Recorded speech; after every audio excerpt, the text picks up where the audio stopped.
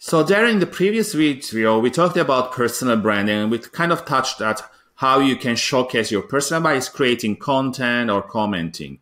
But still for some job seekers or newcomers here in Canada, they feel like, what am I going to talk about? I don't know. Or you talked about posting articles or sharing articles. And I said, they don't know.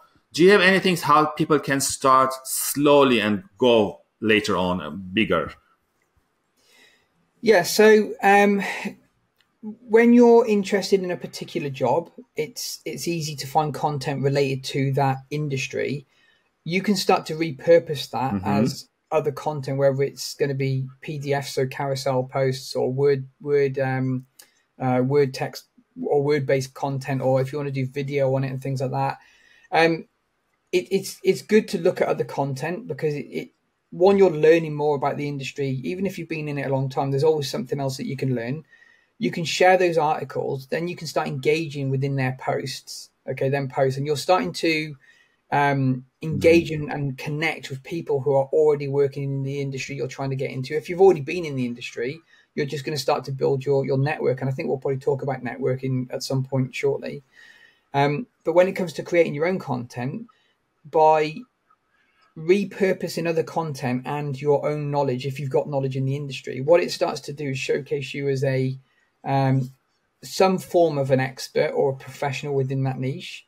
So it shows that you know what you're talking about. What you yes. don't want to be doing is um, say you're trying to get into um, let's say i don't know civil engineering or mechanic, mechanical engineering what you don't want to be doing then is is putting a load of content out about economics and you know the financial markets because it's completely irrelevant content to what you're trying to do so it doesn't mm-hmm. align with your goal.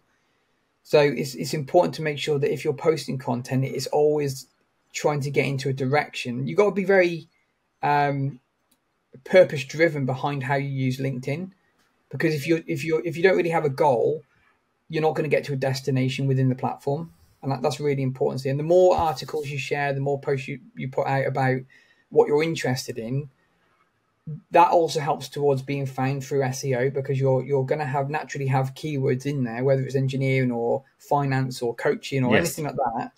When you post those those posts, people can search for a, a, particular keyword in the search bar, click on posts, and all the posts that have mentioned those keywords will be in the feed, so you can filter them down. Yes. So people who are posting that if recruiters are looking for who's who's active online posting constantly about this you know mm-hmm. if they mm-hmm. do want to go down that route of who's posting constantly about this as an interest they can filter them out quite quickly there as well so then they can come to the profile and as long as the profile is aligned then it starts the ball rolling of okay they're likely to get in touch as long as it's what they're looking for yeah, I totally agree with you. Uh, those are important. I tell my clients, you know, identify, let's say, five or 10 companies, follow their LinkedIn profile, engage with their content, share with your thoughts, and start small, you know, maybe every day at five, uh, make five comments. And then next month you make 10 comments. You can become more comfortable. And maybe every Friday, as you mentioned on Google, what industry you want to go, see what are the trends, what are the article,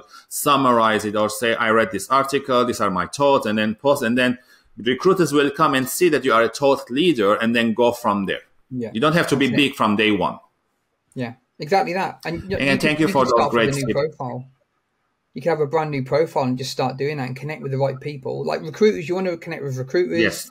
Um, lead sourcing specialists are really good because they're the ones doing the headhunting um, people in the industry mm-hmm. itself, like CEOs, uh, COOs, you know, anybody who operates within the business, try to connect with them. Just build. Don't go in there for the kill and just start going, "Oh yeah, can I get a job?"